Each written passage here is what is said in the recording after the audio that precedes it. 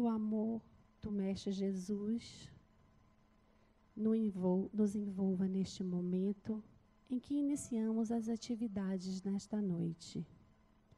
E inspire, através dos seus mensageiros de luz, a nossa palestrante, para que ela possa passar a mensagem de hoje com clareza e com sabedoria.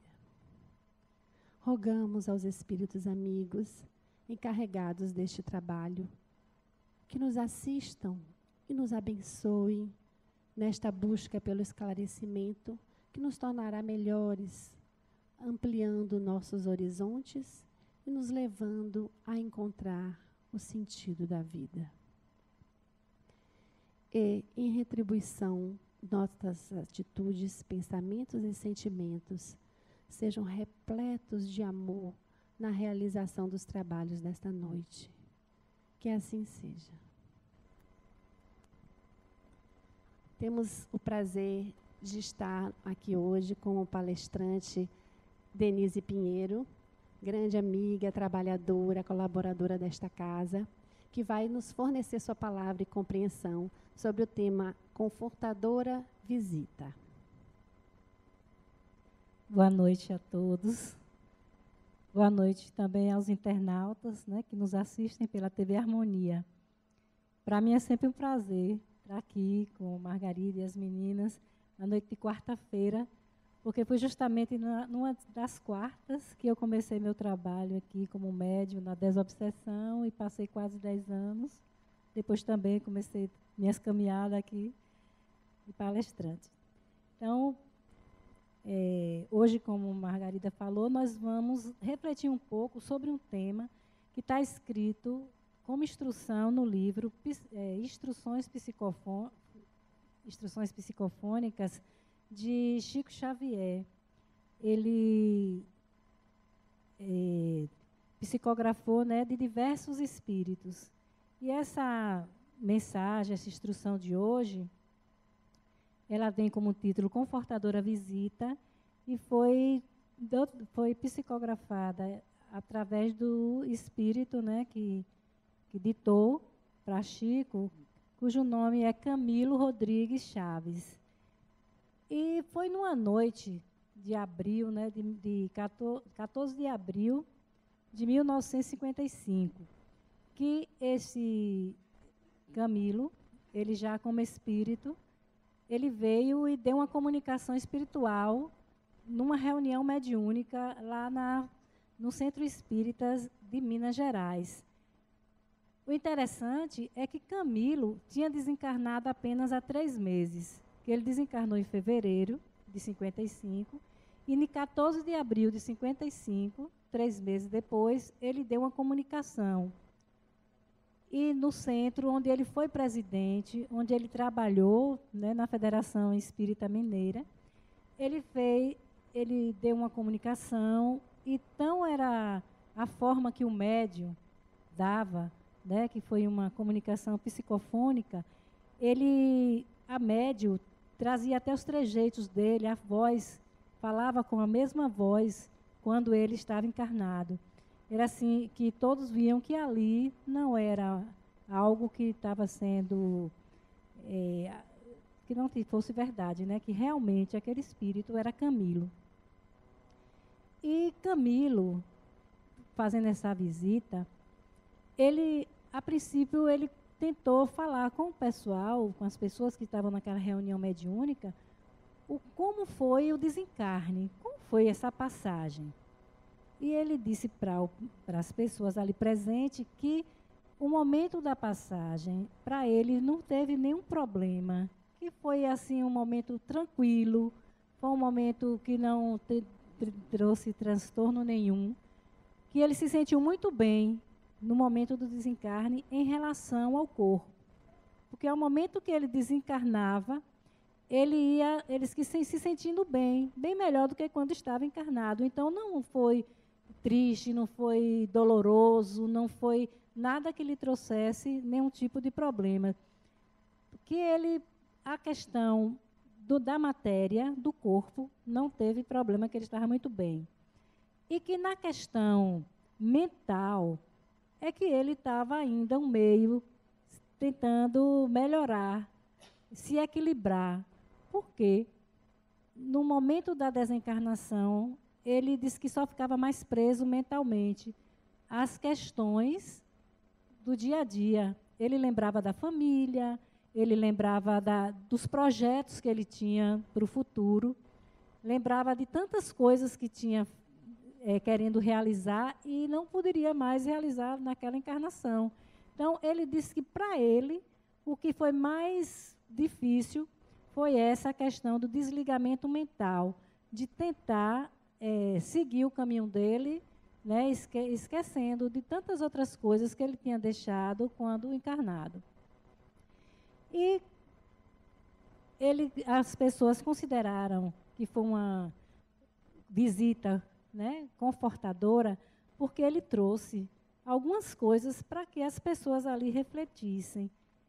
A exemplo, ele falou que muitas vezes nós nos, nos iludimos, porque quando desencarnamos, que damos, deparamos do outro lado, que não temos mais né, a contenção do corpo, que é muito mais fácil ver as coisas, a verdade das coisas, ver de uma forma mais ampla. E ele viu que muitas das coisas que a gente imagina que seja do outro lado, que eles assim colocam entre aspas até do outro lado da vida, que tem coisas que são muito mais além do que o que a gente pensa, do que a gente quer, que a gente deseja, e que não, é, não nos iludisse em relação também à questão do espiritismo, que muitas vezes nós é, nos, nos é, que a gente traz o espiritismo para a gente, tipo assim, eu quero vantagens, eu quero vantagens, e não algo que você faça pela doutrina, mas você quer que a doutrina faça por você. Como é que eu me escravizar a doutrina, em vez de me libertar ou libertar? Aí eu até fiquei refletindo no que, é que ele queria dizer com isso. Muitas vezes nós vamos é, fazer um trabalho voluntário. Ao invés de assim, eu vou fazer um trabalho voluntário, porque isso aqui vai ajudar a sociedade que eu convivo, vai ajudar o outro, eu fico pensando no bônus horas que vou receber. Vou fazer assim, porque do outro jeito eu vou ganhar uma recompensa. Isso é você querer se beneficiar da doutrina a si, a si próprio, né? Colocar em razão de você próprio de muitas de, as, as, me, às vezes também você é, você eu qualquer pessoa né a gente se beneficia da doutrina porque um dos princípios é a reencarnação aí eu digo ah não vou deixar não vou fazer esse bem agora não porque como eu vou encarnar reencarnar faço depois fica postergando o bem postergando a, a algo que você possa fazer de melhor pelo outro ou por você mesmo, até por você, porque fica dizendo assim, ah, vou reencarnar, eu venho de novo. Aí, então você está querendo se beneficiar disso.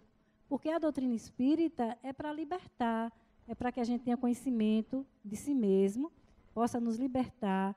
E o que é que eu posso fazer pela doutrina? Eu posso divulgar, eu posso ajudar o outro a despertar como espírito.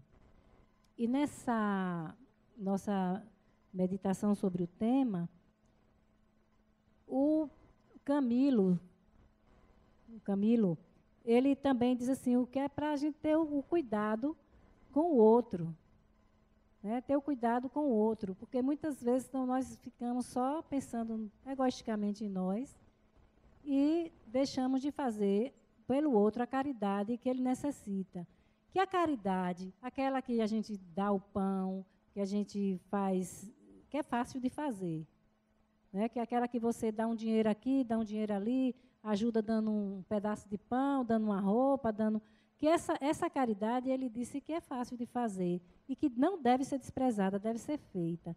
Mas que a caridade maior é a caridade, aquela que desperta o espírito. Se a maior caridade é aquela em que desperta o espírito eu lembrei que a ULI, que é a, Universidade Livre do Espírito, daqui da, da Fundação La Harmonia, ele tem esse objetivo, né, de fazer despertar o espírito, que as pessoas se conheçam, que são espíritos imortais e que despertem, para que no momento até de um desencarne a gente esteja mais preparado. E como a ULI, que desperta pessoas, que tem esse objetivo de despertar, outros e outras pessoas também estão tem, a, empenhadas em ajudar, ajudar a que as pessoas tenham conhecimento de si mesmas e melhorem. Mas agora, também pensando em visitas, no livro dos Espíritos, na questão 413 a 419, ele faz tem um tema que diz assim: visitas espíritas para vivos, para pessoas vivas, e visitas espíritas de pessoas vivas. O que é isso? Então, tem muitas formas de fazer uma visita.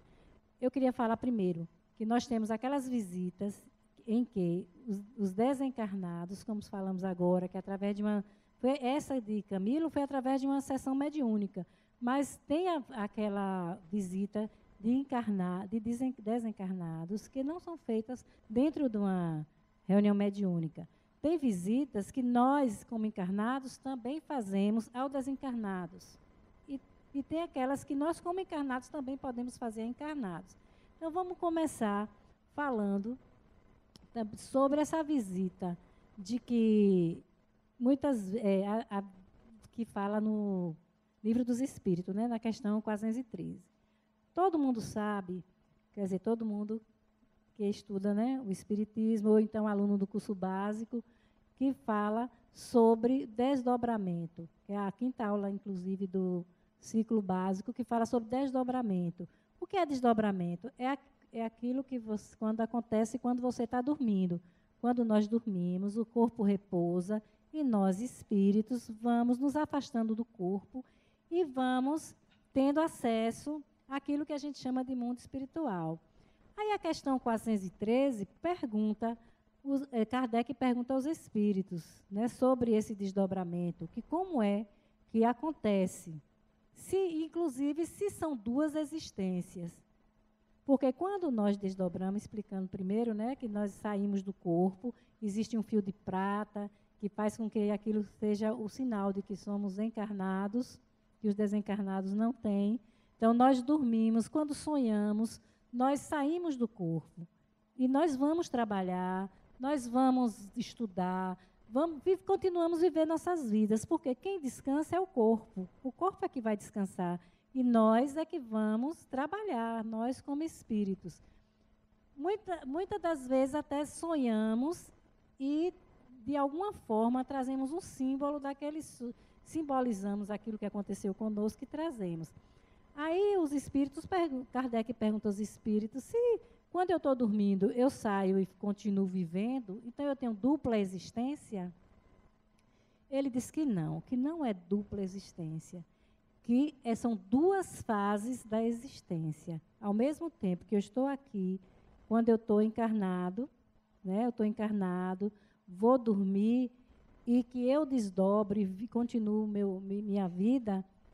Então, não é que eu tenha dupla existência, mas eu tenho duas fases. Uma fase em que eu estou desperto e uma fase em que eu estou dormindo. Ou melhor, que eu estou dormindo, né? Que, e a que eu estou desperto. Essa, essa, e no mundo, e nesse mundo que nós nos encontramos, quando dormimos, não é limitado. Nós podemos fazer visitas a quem amamos. Podemos fazer visita a pessoas que não conhecemos nessa encarnação, que não lembramos dessa encarnação. Podemos fazer visita até em outros países, as pessoas. Isso está no livro dos Espíritos, questão 413 a 418. Que nós podemos nos desdobrar e fazer essas visitas.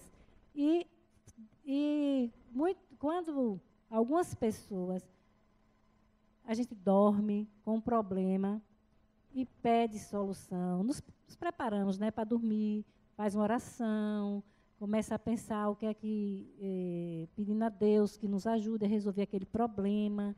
Não sei se aconteceu já com vocês, de deitar pensando, orando, pensando naquele problema, achando que não tem solução. E quando amanhece o dia, que acorda, vem a imagem assim, ó, como um, uma, lembra de algo que vai ajudar você a resolver os problemas, aquele problema daquele momento. Então, o que foi isso? O livro dos Espíritos, nesse capítulo de visita a, dos vivos, né? Espírita dos vivos, ele diz assim.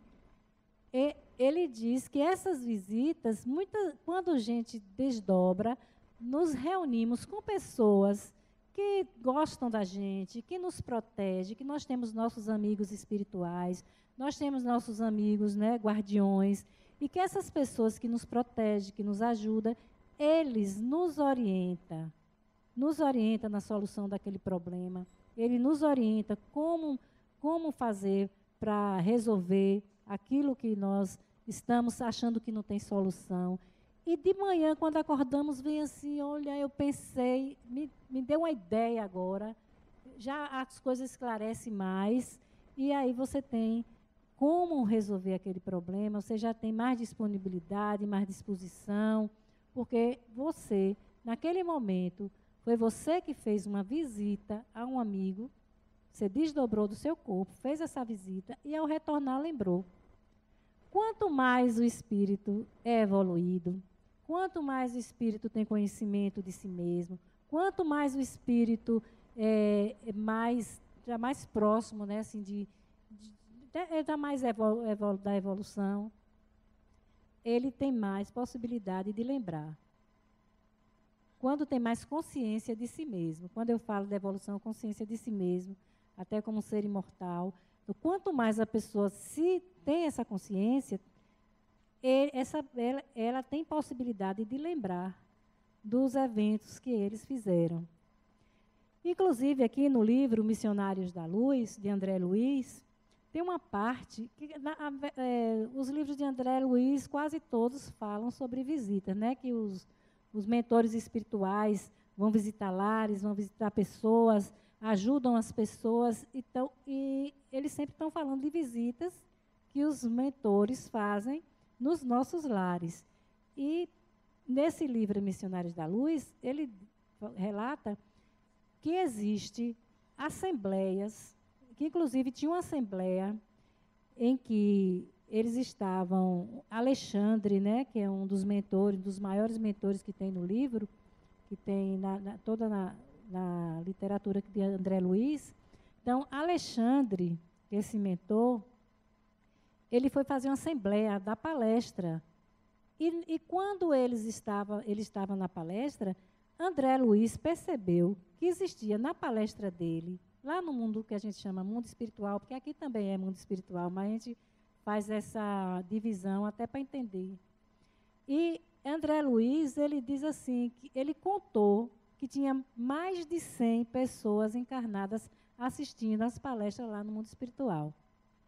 Então, mais de 100 pessoas se desdobraram e foram assistir palestras.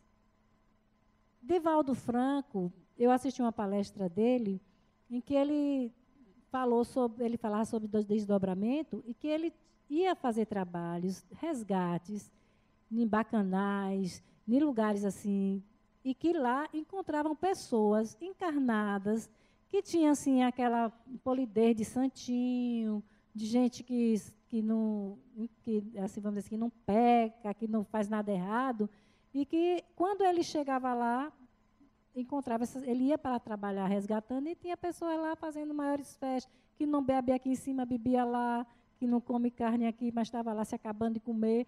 Então, é, porque lá, quando, assim, quando a gente tira, se desdobra, que sai do corpo, então o espírito vive plenamente quem ele é, ele não se esconde. Ele não se esconde, ele é quem ele é. E todo mundo que olha para ele vê quem ele é. Então tem essa, esses, essas visitas, né, que foram, é, que tem na, no livro dos Espíritos, que nós podemos nos desdobrar, podemos visitar pessoas, podemos também assistir palestras. Assim como no mundo, do mundo de lá para cá, existe também aquelas pessoas que provavelmente estão aqui também assistindo palestra que quando nós estamos na ULE, tem pessoas que são médio vidente e vê os alunos também que estão vindo lá do mundo espiritual para assistir uma aula. Aqui, com certeza, a espiritualidade traz pessoas para também assistir palestras, porque o conhecimento, tanto lá como cá, é importante. E, e, e é essa coisa da gente esperar né, que a pessoa é, vê só o mundo espiritual, ah, eu vou fazer quando eu desencarnar, não. A gente pode começar fazendo as coisas agora. E quanto a visitas, a visitas de pessoas, né, de, de mentores, eu não sei se algum de vocês já teve a oportunidade de estar tá em, acordar num momento em que sente uma coisa boa, de, de sentir uma coisa boa no coração, sentir algo algo diferente, estar tá feliz, não tenho motivo nenhum, mas estou feliz, tem uma coisa diferente, uma coisa boa. Tem pessoas até que choram. E nesse momento, muitas vezes é a visita que você está recebendo de um mentor, de um, de um parente. Eu gostaria até de. Eu lembrei agora que meu pai desencarnou em 98. E com uns 30 dias que ele tinha desencarnado, é, são 12 filhos. Todos os 12, cada um estava em um lugar. E no mesmo momento, questão assim de entre de 30 minutos, entre é, todos os filhos onde estavam lembraram dele e começaram a chorar. Aí foi um chororô e, e o meu irmão vieram para minha casa, todo mundo estava em um lugar só, espalhado na cidade, foram todos para minha casa. Aí, ah, porque eu lembrei de Painho, eu lembrei de Painho, começou todo mundo a chorar. Aí eu disse assim, meu esposo fez, ele não pôde nem vir aqui fazer uma visitinha, que vocês estão chorando, ele não volta mais. Porque eu tenho certeza que foi uma visita que Deus permitiu, né, que ele passasse pra, pra, por, pela nossa casa, despedindo talvez de seus filhos, e todos choraram no mesmo momento, na mesma hora. Então, isso é uma visita. E eu tinha assim, quando eu lembrava dele, que eu, depois de dois, três anos, estava assim, sem, sem, como eu estou agora, daqui a pouco, vinha aquela emoção, lembrar dele. Aí eu disse, meu pai está aqui. Que era uma coisa boa, era uma emoção boa. E eu penso, vinha o um pensamento. Então, muitas vezes a gente recebe visita de pessoas que amamos, que nos deixaram, e a gente não, não é capaz de perceber que aquilo é uma visita. E a questão também de, do desencarne, né? Do, do, de voltar para dar uma mensagem. É, quando eu, há um tempo atrás, umas, algumas pessoas me perguntavam, vinham para o centro, vinham para cá e me perguntavam se aqui dava consulta, né? consultava os mortos. Eu disse, não, o Espiritismo não consulta os mortos é um erro a pessoa pensar, o Espiritismo consulta os mortos, invoca os mortos. Nós não invocamos, pelo menos no Centro Espírita Harmonia, que a gente não invoca mortos. O que acontece, os, as pessoas desencarnadas, elas vêm para conversar com a gente e nós damos atendimento, nós encaminhamos, nós conversamos com elas, damos um direcionamento, uma, doutrinando, que a gente chama de doutrinação, é uma conversa para que ele se desperte e que ele tenha um atendimento, vá para um lugar, encaminhado para um lugar onde o tratamento possa ser encaminhado. Então, é diferente da gente estar tá dando consulta, invocando. E o Espiritismo, eu digo assim, não invoca, porque até Chico Xavier, que fazia aquelas fazia as cartas para as mãezinhas, para consol, cartas consoladoras, ele não invocava. Portanto, é que o Espírito vinha quando podia, quando era permitido, quando era necessário dar mensagem. Vocês lembrem que todas as vezes que tem até filmes, livros que falam sobre essa questão, é, sempre quando uma mãe ia procurar uma mensagem, pedia a ele uma mensagem, tinha mães que passavam anos e anos indo. Não é isso? Tinha pessoas que iam muitas vezes para pedir, é, para ver se o filho aparecia e demorava de vir, porque não era invocar, era assim, no dia que for permitido, pela espiritualidade que venha, vem. Tem outros que ele, que ele, a primeira vez que iam, recebiam uma mensagem. Então depende muito da situação do espírito. Até mesmo André Luiz, no livro Nosso Lar, é, quem leu ou assistiu o filme, viu que no nosso lar André Luiz, ele ficava querendo vir, né? Ver a esposa, queria ver, queria dar uma comunicação, insistia com os mentores que queria fazer uma visita ao lar. E quando ele veio, já tinha passado muito tempo, inclusive tempo de, de até da mulher casar, né? Já estava casada com outro, já suas as filhas já estavam já estavam todas já, que eram crianças já estavam meninas, mocinhas e tudo, já estava todo mundo bem, né? Já desenvolveu, desenvolvido. Então, André Luiz, ele, ele não chegou, desencarnou no outro dia, veio para a família para fazer a visita. Ele primeiro teve que passar por um processo né, de paciência e de tempo e de permissão para que a espiritualidade deixasse que ele fosse ver né, a família. Então, a visita, essa visita que a gente chama de visita confortadora, ela pode ser dessa forma que eu falei e também uma visita de encarnado para encarnado. Eu estava assistindo o Jornal Nacional a semana passada, talvez vocês lembrem disso. Aí eu vi uma imagem que quando congelou, você como tipo congelado, você pode até ver no YouTube em, onde os médicos sem fronteiras estavam resgatando no mar Mediterrâneo aquelas pessoas que estavam da Síria, né, naquele barco que eles estavam. Então, eles estavam resgatou do navio 810 pessoas. E naquela hora que está eles, os, os, médicos, resgatando, tirando aquela pessoa de, de, de dentro daquele barco, dando esperança, né? Aí, a coisa que eu, me chamou a atenção é que se essa, essa cena parecia um, um, uma cena do filme Nosso Lar, quando vem aqueles mentores resgatar né, as pessoas no umbral, resgatar, da, é, resgatar do umbral para que elas fossem para o nosso lar. Então eu, eu percebi assim, gente, o, que acontece aqui toda hora, esse resgate, mas a gente só dá conta só acha que a coisa tá, tem valor se for pensar que foi no mundo espiritual, que foi André Luiz que fez, que foi os mentores lá espirituais que desencarnados que fizeram.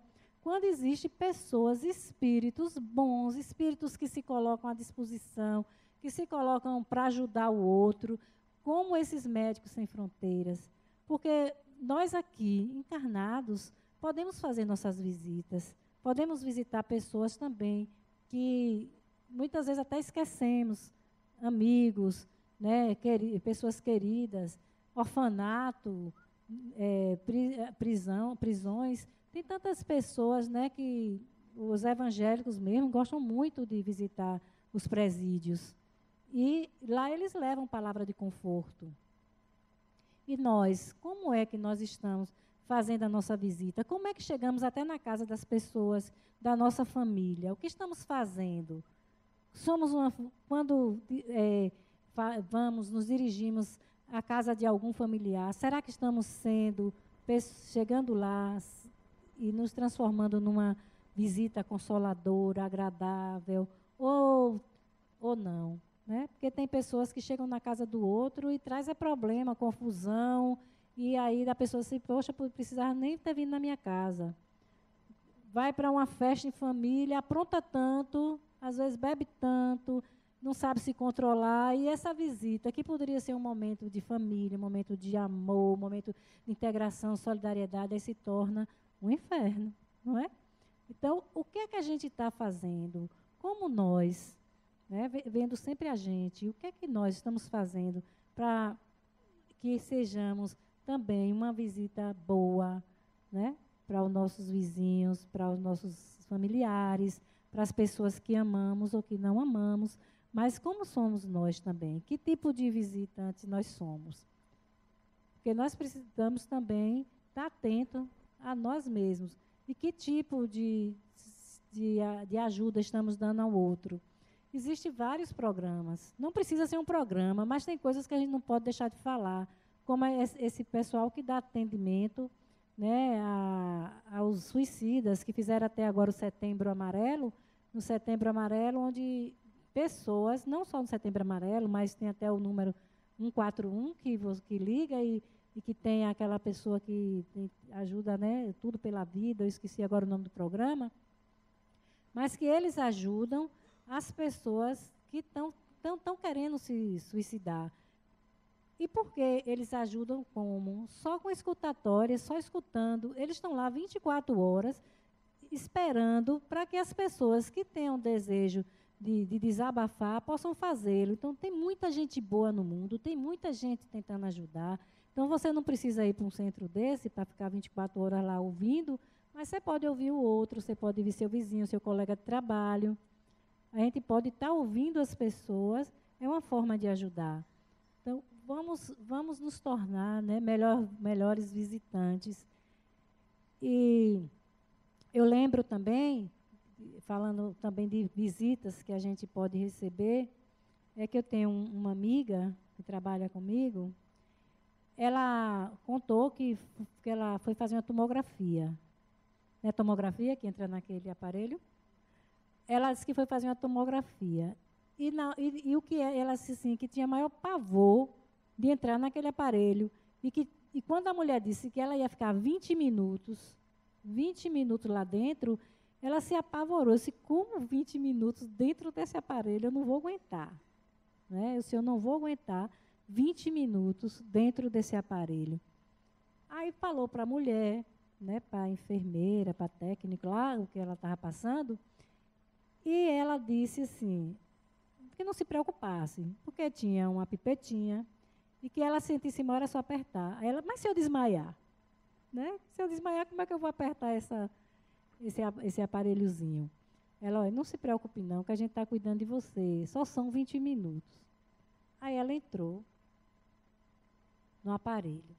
E ela disse que quando entrou, ela começou, ela disse que se viu em um local onde tinha um grande jardim. Ela disse que era um jardim imenso, cheio de, de rosas.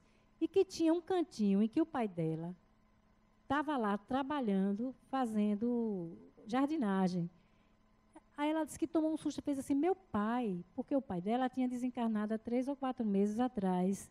E quando ela viu o pai, né, o pai é, fazendo assim a jardinagem, ela foi para perto e, pai, você está aqui, o que, é que você está fazendo aqui? O que é que... Pai, que rosas são essas? Que lugar lindo é esse? Aí ele disse assim, ô oh, filha, eu estou aqui porque eu estou preparando um jardim para receber minha loira, que é a mãe dela, o jeito que ele chamava. Eu estou aqui preparando um jardim para quando minha loira voltar, chegar, encontrar um jardim muito lindo. Aí ela disse que ficou conversando com o pai, aí disse que se emocionou lá mesmo, né, onde ela estava, e que só viu o barulho do aparelho. Aí ela, ai meu Deus. Aí ela acordou assim, né, deu, deu tomou um susto. Aí disse, ai meu Deus do céu, eu não consegui fazer o exame, devo ter morrido. Aí, o, aí quando a mulher tirou, aí fez tudo bem, aí ela, tudo bem, aí ela, foi dois minutos, né? Dois minutos e eu já desmaiei alguma coisa que você está me tirando? Aí ela disse, não, não tem dois minutos, já tem 20 minutos. Você fez o trabalho, você fez o seu, o seu exame, está tudo certo. Aí ela me contou, até chorando, emocionada. Aí, Dene, eu tive um, um o encontro com meu pai. Eu encontrei, assim, ela desdobrou e visitou o pai, e no momento exatamente de um medo, de um receio, que ela achava que ia ser ruim para ela. E foi o momento, ela se desses tempos, foi o momento, o momento mais feliz da minha vida, em que eu pude ter meu pai perto de mim. Aí eu que bom, né? Que ela ficou feliz. Aí eu disse assim, você recebeu uma visita. Aí eu disse, eu posso contar isso lá no, no dia que eu for fazer minha palestra, porque isso é uma visita espiritual. Ela ah, pode contar. Então, é, ela recebeu essa visita. Agora ela ficou com um medinho, sabe? Ela disse, meu Deus, agora eu também estou preocupada. Será que minha mãe vai morrer? porque o pai, né, ficou, encontrou o pai que estava preparando o jardim para a mãe. Aí ela, será que minha mãe vai morrer? Eu disse, vai, vai, mas não é agora não, você pode ficar tranquila, e morrer todos nós vamos, né? Cada um no seu tempo, cada, cada um no seu momento. Então, se você perceber, o, o próprio Evangelho está cheio de visitas. Quando nós vamos ver as, as histórias. E o cristianismo come, começou numa, numa visita ao lar, que foi Jesus que fez uma visita ao lar de, de Simão Pedro. Vocês lembram que nas passagens do Evangelho, o primeiro evangelho do lar que teve foi na casa de Simão Pedro, porque Jesus gostava de fazer visitas. Lembra aí, visitou São, ele fez visita a, fazia sempre o evangelho lá para Simão Pedro, na casa de Simão Pedro.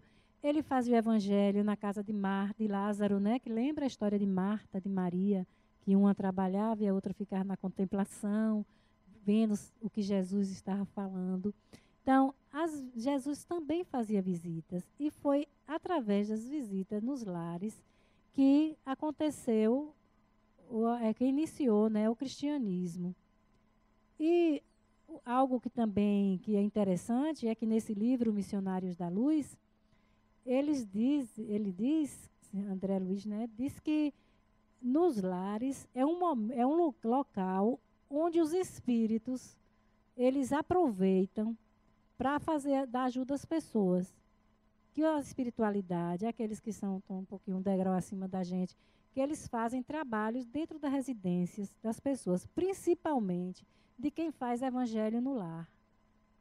Porque quando fazemos evangelho no lar, nós conseguimos, você consegue fazer com que seu lar seja assistido, que seja protegido e a energia modifica, fica tão bem, tão bem, que diz que é como se tivesse um sinal de luz em cima de sua casa.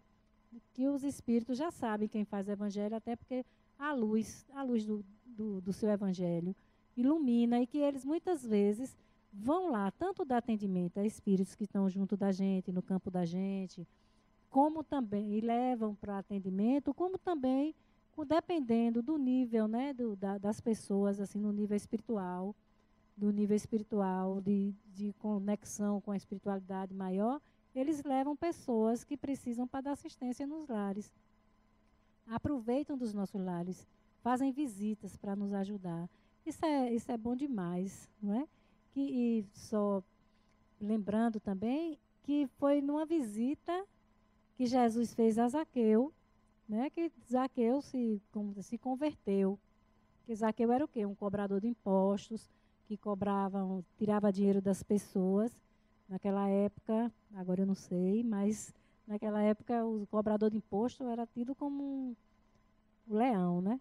O leão da época. E o que aconteceu é que Zaqueu, que, fazia, que tomava das pessoas, né, em nome do Estado, ele, ele, todo mundo tinha ele como ladrão, porque roubava de forma e pegar de forma ilícita o dinheiro do, das pessoas. E no dia, todo mundo acho que lembra, tem até a música, né? Como Zaqueu. Então, tem essa, essa história de Zaqueu, porque Zaqueu teve vontade de ver Jesus. E ele foi sabendo de Jesus. Ele teve tanto, tanta vontade, tanto desejo de encontrar com Jesus, que ele subiu numa árvore para ver Jesus passar. E o que é que Jesus fez? Olhou para ele e disse: Zaqueu, desce depressa, porque em sua casa hoje eu vou repousar. Imagine que ninguém imaginou que, Jesus ia chamar Zaqueu, dizia Zaqueu que queria jantar com ele e ia querer ir para a casa dele. E foi, e Zaqueu, diante de, de tão maravilhado, tão maravilhado pelo, pelo que estava vendo, né, por, por Jesus, pela visita de Jesus, por sentir aquilo, tudo que Jesus transmitia, Zaqueu, ele disse a Jesus que tudo que ele tinha tirado das pessoas, ele ia dar em quatro vezes mais.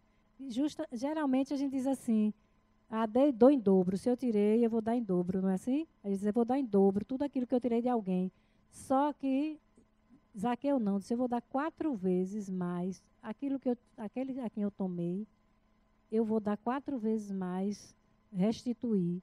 E assim ele fez, e Zaqueu foi reencarnando, evolução em evolução, e hoje nós temos até revelação de quem é Zaqueu. De quem é Zaqueu, que, que é, tem literaturas que falam que ele é Bezerra, doutor Bezerra de Menezes. Você vê que o tanto que evoluiu, né? Dois mil anos e ele hoje como está.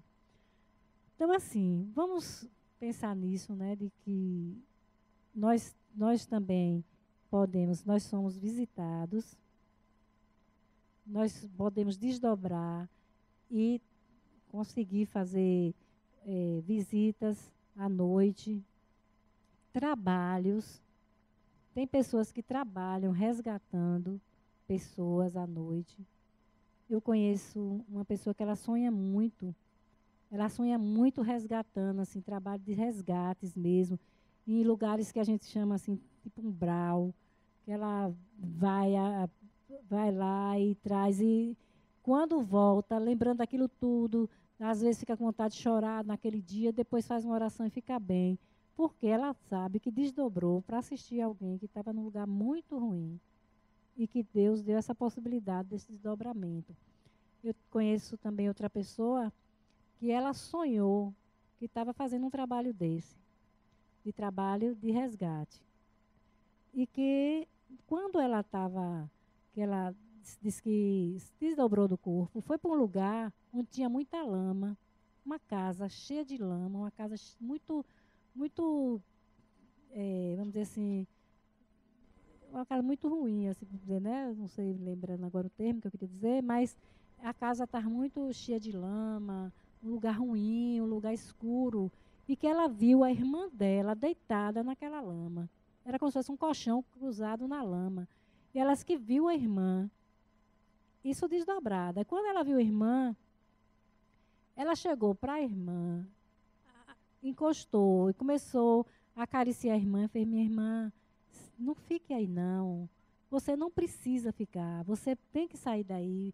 Venha, pense aí, ó, numa cama, uma cama bem branquinha, cheirando a alecrim, os lençóis cheirosos. Pense aí, minha irmã, que você não precisa ficar nesse lugar. Você precisa sair daí. Venha, venha, venha comigo. E diz que a irmã abriu o olho e ela disse assim: venha, venha que eu posso lhe ajudar. Aí, mas pense, Pense numa cama bem cheirosinha, bem arrumadinha. E, e pense que você já está lá. Aí disse que acordou. Né? Quando acordou, aí lembrou do sonho todinho. Do sonho. Aí ela, quando lembrou, passou o dia, contou o sonho para o esposo, para uma pessoa da família. E foram, foi, coincidiu que uma irmã veio, outra irmã veio visitar e trouxe um filhinho filhinho de 3, 4 anos para casa, né? E que começou, o menino ficou brincando, entrou no quarto dela e saiu.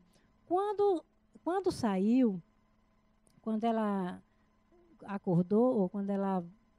O menino ficou brincando, aí o menino, três anos, que não conheceu a tia desencarnada, que isso já, já, a tia já tinha uns 10 a 15 anos desencarnada, e ela tinha e ele tinha três anos, então não tinha possibilidade de nem saber quem era essa tia. Ninguém nunca tinha conversado. Aí ele, ele do nada fez, ó, oh, eu sei quem é minha tia. Eu vi minha tia. Tem uma tia. Aí ela, quem é? Aí fez assim, é uma tia que estava deitada no quarto da minha outra tia. Aí ela fez assim, ah, você está brincando. Ela, não, tá, mamãe, ó, ela estava deitada na casa da minha tia, na cama da minha tia, ela tinha um sinal bem grande aqui. Exatamente, essa pessoa tinha um sinal de nascença, assim, no rosto. E o menino que nunca conheceu disse assim, ela estava com sinal. Então, o que, é que a gente pode pensar disso? Que durante o sono, nós, nós também podemos ajudar outras pessoas. E que essa irmã ajudou a outra, resgatou. Então, pra, o que é que é preciso que a gente faça para ajudar o outro? É simplesmente querer, né? É querer, desejar, ajudar. É fazer sua oração ao dormir. Pensar que você também quer fazer uma visita, uma visita confortadora, não só a desencarnados, mas você fazer visita encarnados, tentar fazer um trabalho né, que esteja próximo, mesmo não seja igual um Médico Sem Fronteiras, um Setembro Amarelo, mas que seja um trabalho que resgate também a, a estima de alguém, que você escute, que você tenha um outro olhar, principalmente sobre aquela pessoa que mora na sua própria casa.